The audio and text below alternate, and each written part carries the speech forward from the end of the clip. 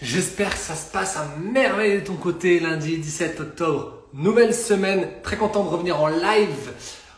Nouveau sujet sur les Fit by Seb live tous les soirs de cette semaine à 18h précise. Un peu de retard parce que la journée est full. Il y a plein de personnes à aider sur cette fin d'année. L'objectif avec l'équipe de nutrition du succès, c'est d'accompagner plus de 2000 personnes et ceci chaque mois. Et donc du coup les journées sont blindées. Mais tous les soirs entre 18h et 18h20 eh ben, tu as un live pour apprendre encore plus de choses sur ta santé, sur ton corps. N'hésite pas à faire coucou si c'est la première fois que tu te connectes sur ces lives.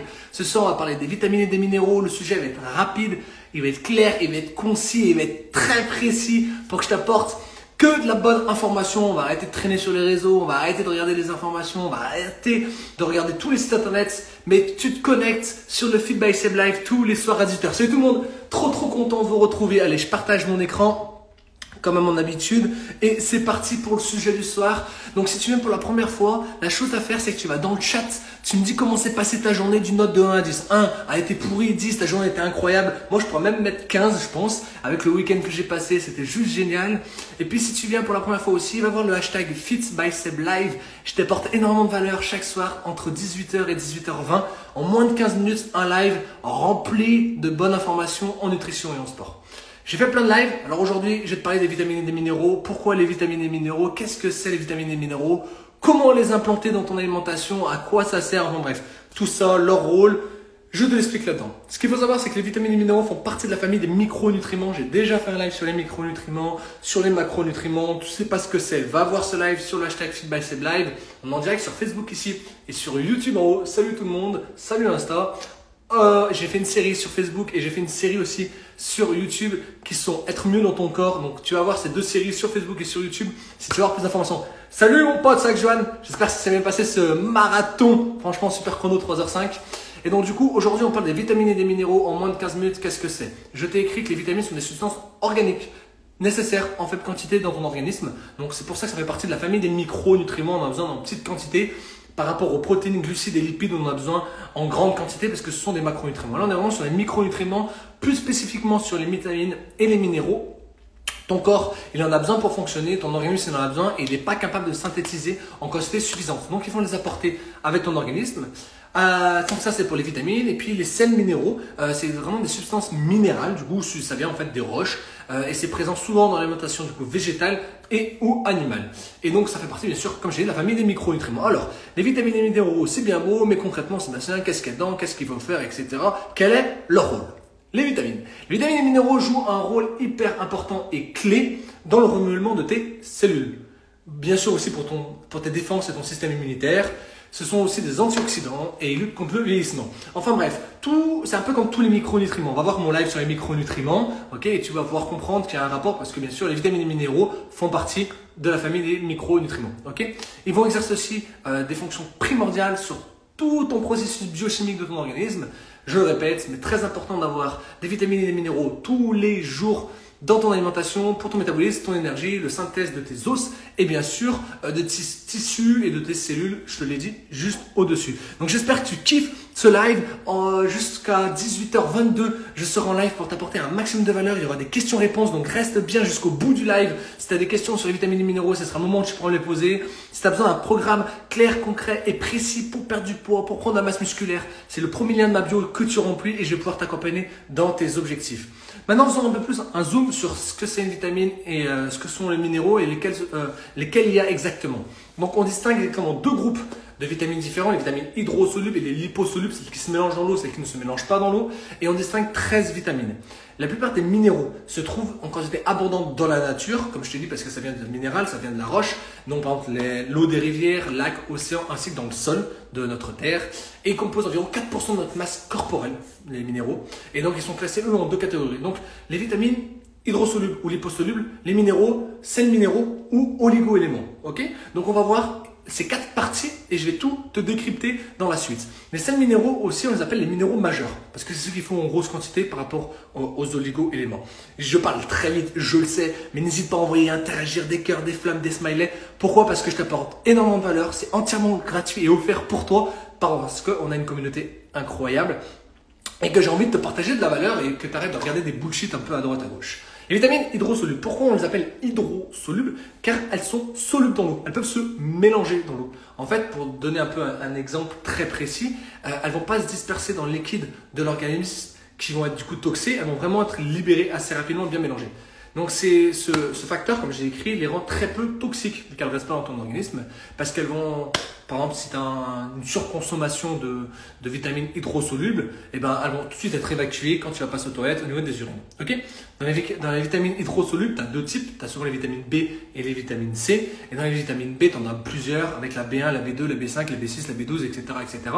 C'est ceux que tu dois consommer le plus possible. Mais pour voir où est-ce que tu retrouves ces vitamines et comment les consommer, je t'invite à aller regarder le live sur les micronutriments. J'étais beaucoup plus précis euh, sur quel type de micronutriments, dans quel poisson tu retrouves telle vitamine, dans quel oléagineux tu retrouves autre chose. Donc, euh, va voir cette autre, live. Mais vraiment, là, c'était pour t'expliquer qu'il y avait deux types de vitamines, les hydrosolubles et les liposolubles. Et là, dans les hydrosolubles, c'est celles qui vont se mélanger à l'eau et que si tu en consommes trop, elles sont éliminées par les urines. Plutôt simple à comprendre, pas très compliqué. N'hésite pas à partager ça à un pote pour qu'il puisse le savoir lui aussi. Ensuite, on a une deuxième type de, euh, de vitamines. Ah, j'ai un peu coupé, c'est pas grave. C'est les vitamines A, D, E, K. K, il y en a deux, mais il y a K1 et K2 en fait, en réalité. Et on les appelle ainsi car elles sont, elles, solubilisées et stockées dans les tissus adipeux. C'est-à-dire qu'elles ne se mélangent pas dans l'eau, elles vont dans la graisse. ok? Et elles sont généralement, elles sont apportées par des sources de lipides alimentaires, tels que tout ce qui est l'huile, poisson, etc. Salut Angie, j'espère que tu vas bien. Grosse dédicace à toi, parce que je sais que tu me regardes d'un autre continent du monde. L'Afrique est présente parmi nous. Merci Angie. Bon, j'espère que tout le monde va bien en tout cas. Donc n'hésitez pas à mettre un max de flammes, de commentaires et tout ce que vous voulez pour partager ces lives tous les soirs à 18h. Le hashtag FitBySeb Live, je t'apporte des valeurs inestimées. Et si tu veux un programme complet sur 7 sur 7, non, sur 10 jours, 21 jours, 30 ou 90 jours. C'est le lien de ma bio. Il y a le Fit for Christmas. Il est démarré lundi, il y a deux semaines, le 3 octobre. Il termine le 18 décembre. Un programme incroyable qui m'a permis de perdre 3 kilos déjà sur les deux premières semaines. Je vous imagine même pas les résultats à la fin. Je vais avoir une transformation incroyable. J'espère que tu l'auras toi aussi. Je reviens sur les vitamines liposolubles. Donc celles qui ne se transforment pas, celles qui se mélangent pas dans de l'eau. Elles sont vraiment présentes, bah, du coup, bah, dans le tissu adipeux, dans les graisses. Euh, et donc, du coup, on va les retrouver, du coup, dans tout ce qui va être dans les lipides alimentaires de, de version plutôt animale, avec l'huile, poisson gras, etc.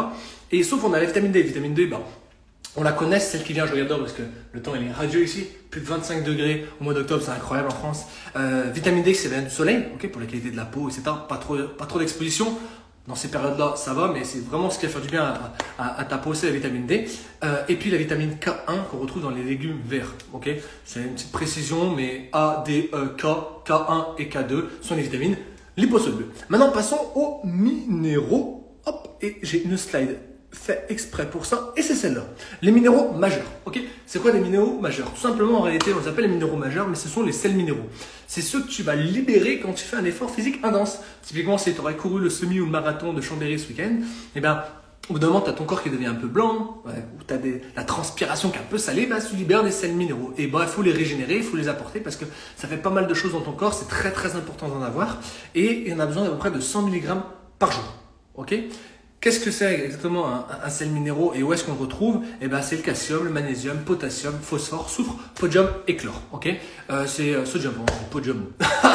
sodium et chlore. Ce sont des, euh, bah, des sources de sels minéraux que tu retrouves très très rapidement dans ton alimentation. Si tu l'as pas dans ton alimentation, il faut absolument la supplémenter. Prendre des compléments alimentaires en fonction de tes besoins, que ce soit du magnésium, du potassium, du calcium car c'est ce qui va permettre d'avoir tous les vitamines qu'on a vu avant, mais surtout tous les minéraux dont ton corps a besoin pour atteindre ces 100 mg par jour. Il y a une deuxième partie que je t'ai pas parlé au niveau des, minéraux, c'est la deuxième partie, c'est eux, c'est ce qu'on appelle les oligo-éléments. On les, on les appelle comme ça, je t'ai écrit encore, j'essaie de tout écrire, au moins tu peux prendre un maximum de notes, tu veux partager à tes amis, enfin bref, tu fais comme tu veux, mais au moins tu as la compétence et tu as de la valeur je veux dire fraîche, non, la vraie valeur, en tout cas la valeur vraie que, que je te propose. Alors pourquoi on les, nomme comme ça les oligo-éléments? Parce qu'ils se retrouvent à l'état de traces tout petit, d'accord? Vraiment en tout petit nombre. Et en grosso modo, elle correspond à peu près à 15 grammes de masse corporelle. Donc tu n'as vraiment pas grand-chose dans l'oligo-élément dans ton corps.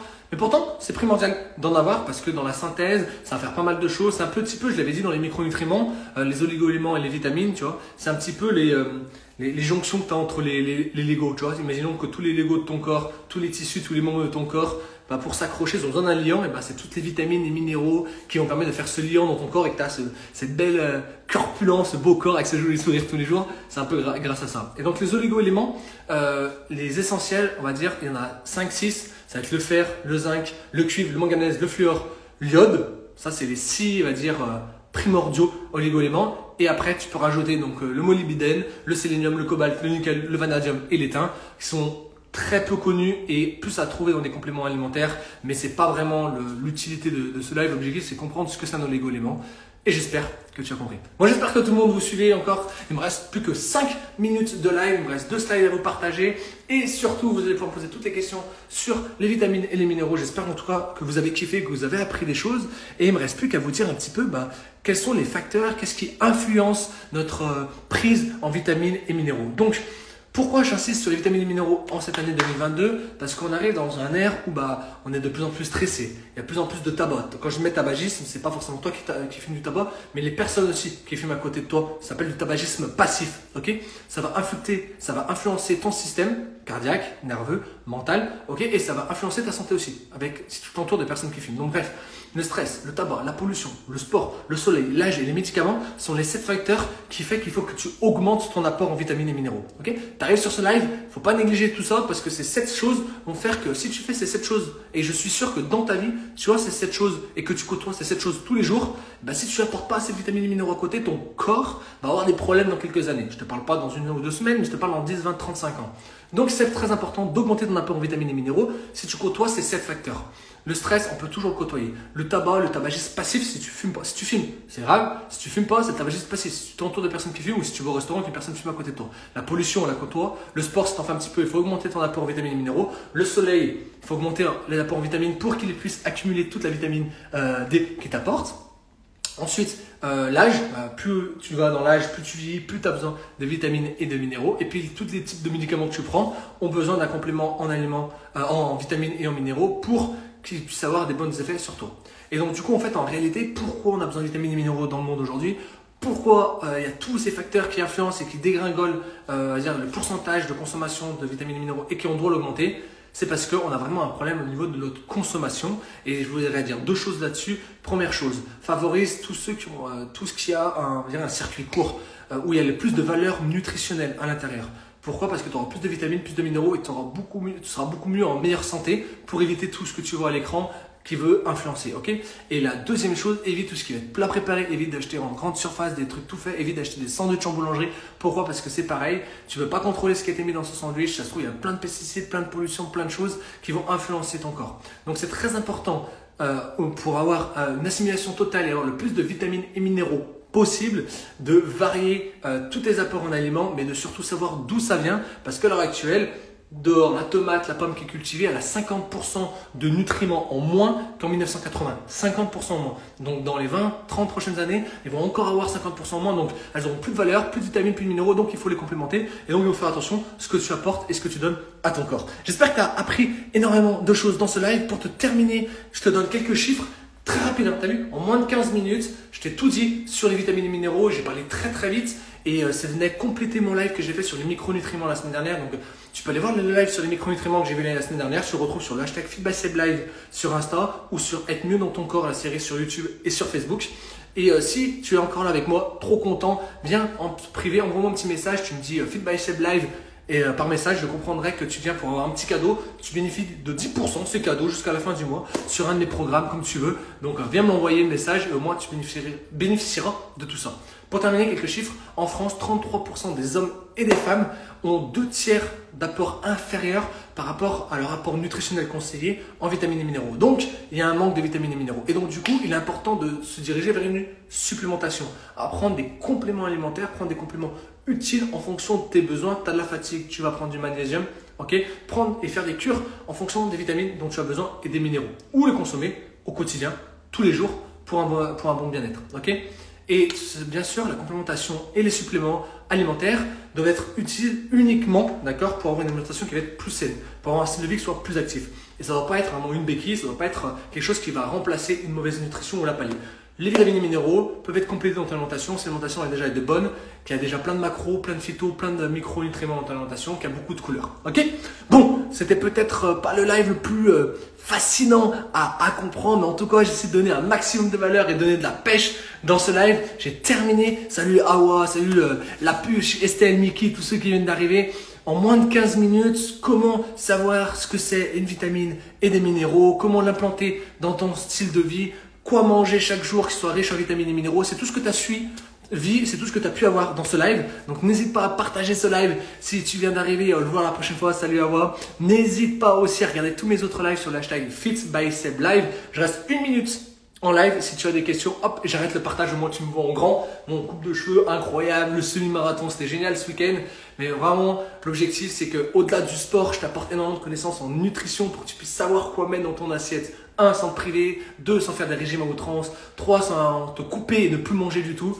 Donc l'objectif c'est ça. Je t'ai fait énormément de lives sur les macros, les micronutriments, comment prendre un bon petit déj, des bons plans repas. Aujourd'hui, euh, je t'ai parlé des vitamines et des minéraux. La semaine dernière, je t'ai parlé aussi des protéines, des glucides, des lipides. Enfin bref, j'ai fait plus d'une vingtaine de lives, plus de 20 lives entièrement gratuits, rien que pour toi sur le hashtag FitBySebLive et sur la série Être mieux dans ton corps pour que tu puisses savoir quoi mettre chaque jour dans ton assiette et pour atteindre tes objectifs de silhouette que tu rêves. J'espère que vous avez kiffé ce live sur les vitamines et minéraux. On se retrouve demain sur un tout nouveau live. Je suis sûr que tu connais même pas si je te parle de peptides de collagène. Si je te parle de collagène, est-ce que tu sais ce que c'est? Tu sais, tu sais pas? Eh bien écoute, tu viens demain à 18h sur le live et tu vas pouvoir tout savoir sur Instagram, ce que c'est le collagène, comment le consommer, en quoi c'est utile pour tes muscles et pour ta peau. Je te souhaite une très bonne soirée, c'était Fit by Seb. J'ai trop kiffé faire ce live. Viens tous les soirs à 18h avec moi. N'hésite pas à envoyer des petits messages, n'hésite pas à commenter, à envoyer de la force. Et je te souhaite une très bonne soirée. Ciao ciao